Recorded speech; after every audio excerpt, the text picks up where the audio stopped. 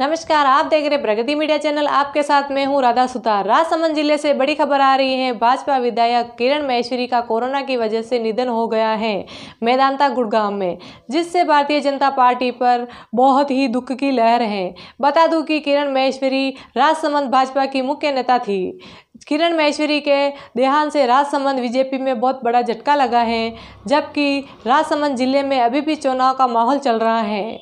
किरण महेश्वरी पूर्व कैबिनेट मंत्री रह चुकी हैं, जिनका अंतिम संस्कार साढ़े चार बजे रामेश्वर महादेव जी के मंदिर के पास किया गया है, भाजपा परिवार द्वारा। मैं हूँ राधा सुतार और आप देख रहे प्रगति मीडिया चैनल।